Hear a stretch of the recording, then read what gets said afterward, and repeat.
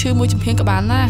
បូដេនមិចបំបត្តិឈឺមួយចំហៀងក្បាលយ៉ាងមានប្រសិទ្ធភាពឈឺក្បាលនិងឈឺមួយចំហៀងក្បាលបណ្ដាលមកពីរោគប្រកាំងខ្ញុំទុកចិត្តតែប៉ដេនមិចប៉លប៉លប៉លប៉ដេនមិចបំបត្តិឈឺក្បាលរោគប្រកាំងឆាប់រហ័សនិងប្រសិទ្ធភាពខ្ពស់អឺ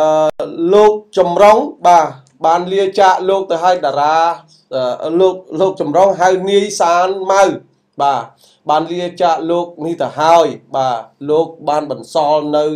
សំណោចនៅកំ pl ែងជាច្រើនคลิปបាទហើយគាត់ជាតារាល្បីដែរខាងខាងកំ pl ែងមិនចឹង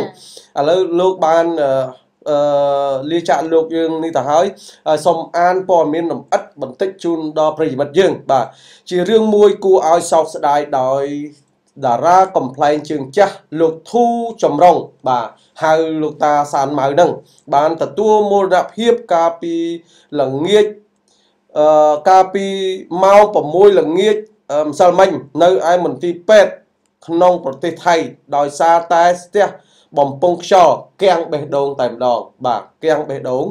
ក្រោយទទួលដំណឹងគួរឲ្យសោកសង្វេគនេះ មហាជន ទូទាំងប្រទេស ដែលជាអ្នកគ្រប់គ្រងតារាកំ pl ែង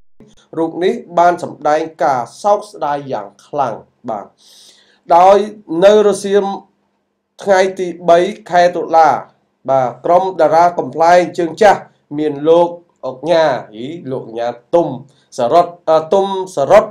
ហៅនាយកុយកាឆយលោកយាយណយសំណាងនិងយាយសយាយយ៉យបាទព្រមទាំងសហអឺសិល្បករសិល្បករនីឯច្រើនអ្នកទៀតបានមកចូលរួម ក្នុងពិធីបុណ្យសពតារាកំ pl ែងសានម៉ៅនៅវត្តព្រែកប្រា ពោរពេញដោយភាពសោកសង្វេគនិងសោកស្ដាយជាពុនពេកបាទលោកហេងឡុងបានបង្ហោះសាររៀបរាប់យ៉ាងដូចនេះថាសិល្បករជើងចាស់អ្នកនាងចនច័ន្ទលក្ខណៈបានពំបានពំនាំនៅថាវិការសម្ដេចតេជោហ៊ុនសែននិងសម្ដេចកតិ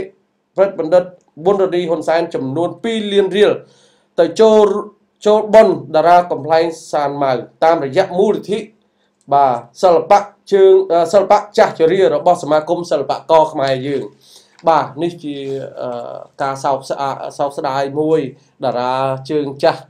កំ pl ែងដែលធ្លាប់តែប្រជាជនសំបីខ្ញុំក៏ធ្លាប់សោចនឹងគាត់ដែរចាបាទឥឡូវតារាជើងចាស់អឺ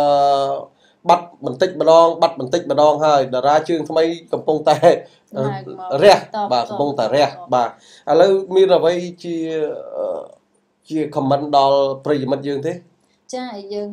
ពី TNM គឺសូមជម្រាបសួស្តីហើយសង្ឃឹមថាហើយយើង